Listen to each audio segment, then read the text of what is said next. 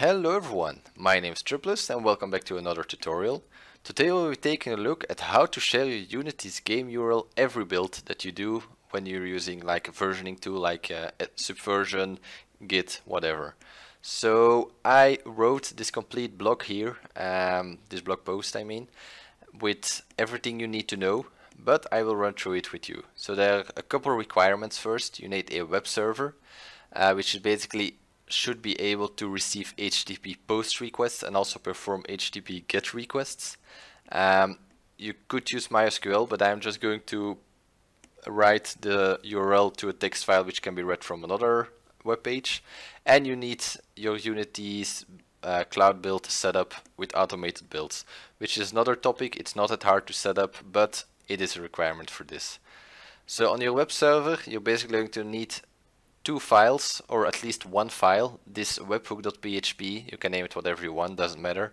But this file will basically receive the http post requests and from there we'll do some actions and give you back your share url and this index uh, page is basically what i am using to show to redirect to my share url so this code what it does it basically receives the HTTP post request from the web server and then it performs an HTTP GET request on the Cloud Build API to get your share URL.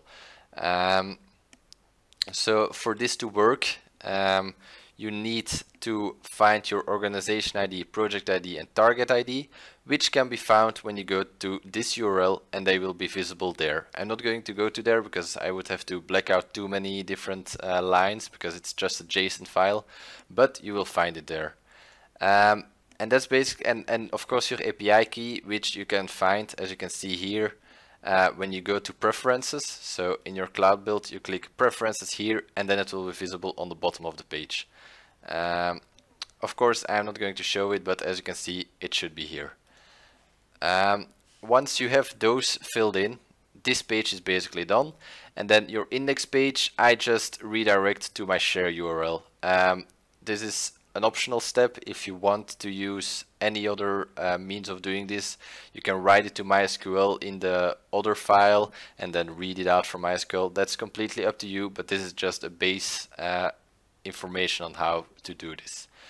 Um, then the important part basically comes in your cloud build you're going to do have to do some configuration so I'm not going to move the page too much because I would have to move uh, some boxes to to uh, hide information but you basically go to your cloud build uh, and to the project from your cloud build and uh, then you click on notifications here um, this is basically the part where you can configure everything as you can see I will add a new um, webhook and here we will paste the URL of your webhook file that we created over here. So to this webhook file which contains this code. So you basically put that in here, the content type is JSON, that's fine. This is optional as I say here because if you want to uh, secure your page you could basically this secret you could check in the, the, the HTTP uh, post request if the key is the same if it is fine, then you can proceed, but that's optional. If you don't show your web URL to everyone, it should be fine. Um, so we only want to call an event when uh, the build has successfully finished. In other cases, we don't really need to do anything unless you want to auto rebuild once it fails or whatever. Um, SSL is not required because I'm using a, a simple HTTP instead of HTTPS.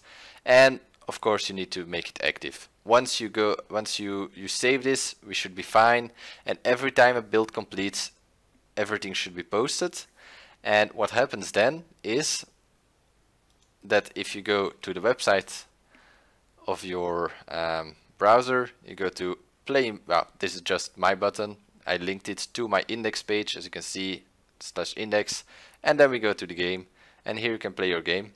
So this will auto update. You can do it via database, you can do it via text file, whatever suits your needs. But this is basically a simple way of auto sharing your Cloud Builds URL. I hope you guys enjoyed it and I see you again next time. Thanks for watching. Bye.